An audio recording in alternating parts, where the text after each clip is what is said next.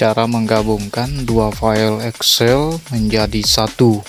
Di sini sudah ada dua file Excel yang akan digabungkan. Namun terlebih dahulu kita buka kedua filenya.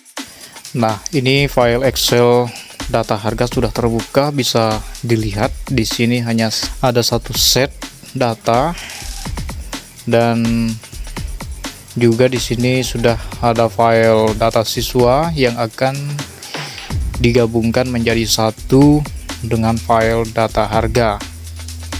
Klik kanan set data siswa, kemudian pilih move or copy.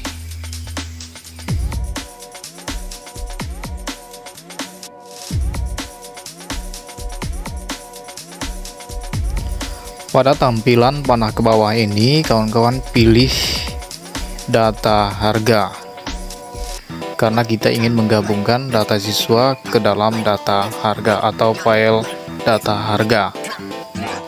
Kemudian pilih move to end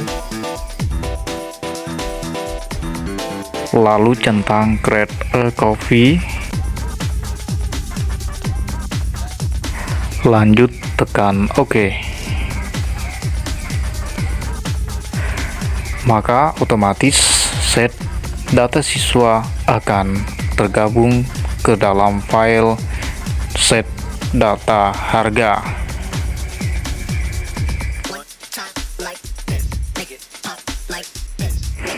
Demikian cara menggabungkan dua file Excel menjadi satu.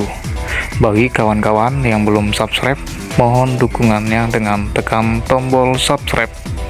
Bagikan video ini ke media sosial milik kawan-kawan semua. Semoga bermanfaat.